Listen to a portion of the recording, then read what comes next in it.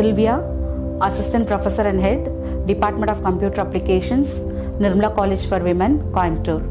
I'm going to talk about classes, objects, and methods in Java.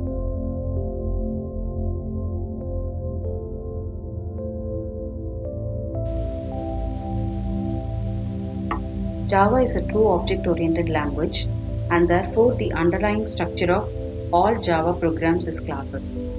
Java program must be encapsulated in a class that defines the state and behavior of the basic program components known as objects. Objects have states and behaviors. For example, a dog has states like color, name, and behaviors like wagging the tail, barking, eating. Likewise, when we compare the software object with the real world object, software objects also have state and behavior. A software object's state is stored in fields and behavior is shown via methods.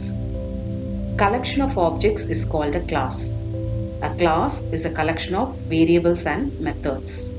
A class can also be defined as a template or blueprint that describes the behavior or state of that object.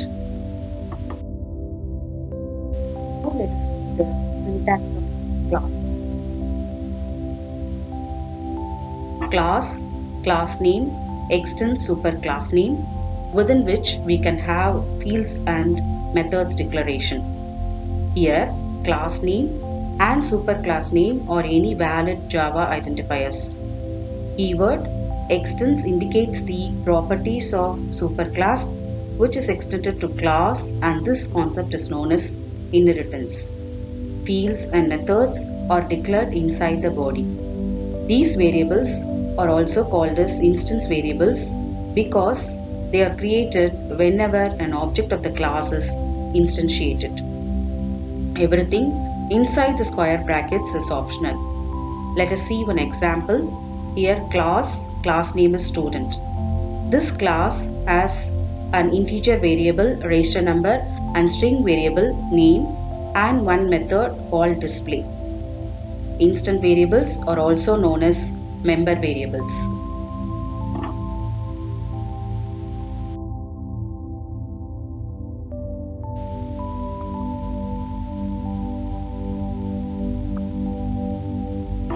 Now let us see the methods declaration.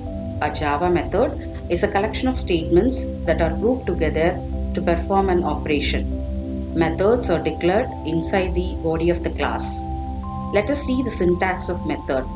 Type, method name, within which we have the parameter list and inside the body we have the method body. Method declaration have four basic parts.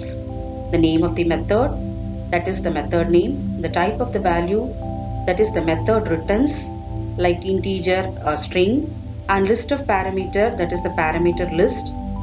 It contains variable names and types of all the values. The variables are separated by commas. When no input data, we can use empty parenthesis. Let us see one example, void display, within which we have, we are going to print here two uh, variables, register number and name. So this method helps to print register number and name.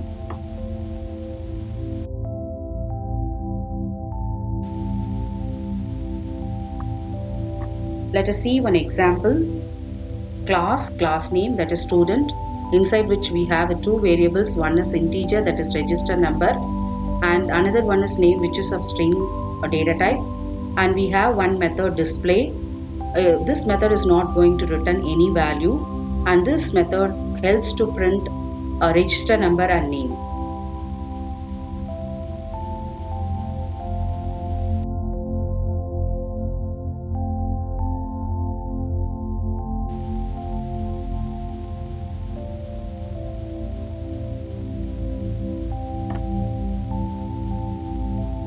Let us see how to create objects. An object in Java is a block of memory that contains space to store all the instance variables. Creating an object is also referred as instantiating an object. Objects are created using new operator. The new operator creates an object of the specified class and returns a reference to that object. let us see the syntax of the objects class name object name equal to new class name of. So example for this is a student is the class which we have created before and stud1 is the object name and we are going to create a space in the memory.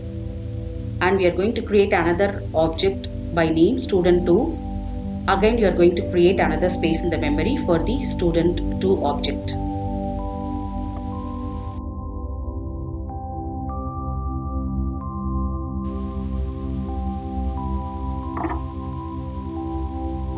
Let us create one simple Java program.